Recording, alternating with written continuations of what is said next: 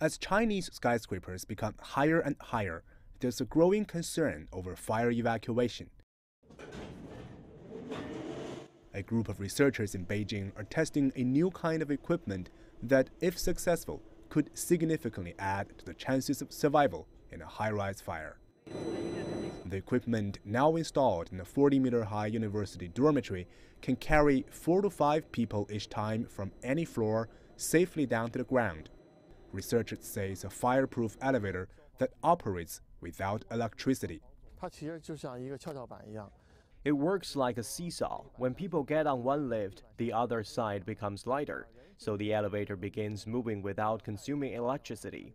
But as we know, there could be gravitational acceleration during a downward movement, so we have developed a sophisticated damping system to keep it rolling at a stable speed.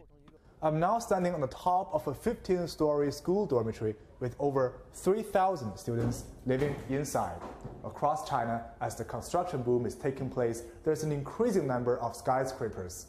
Having a safe and reliable rescue equipment during fire has become a fatal necessity.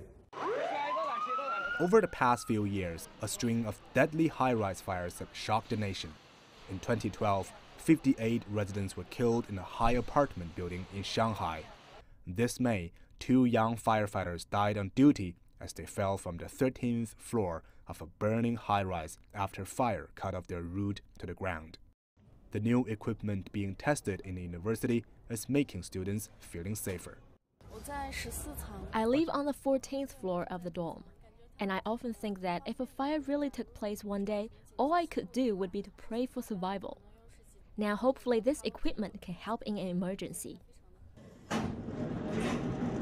There are still questions over the facility, though, such as whether this is the most cost effective method of fire rescue and how it fits into some irregularly shaped buildings.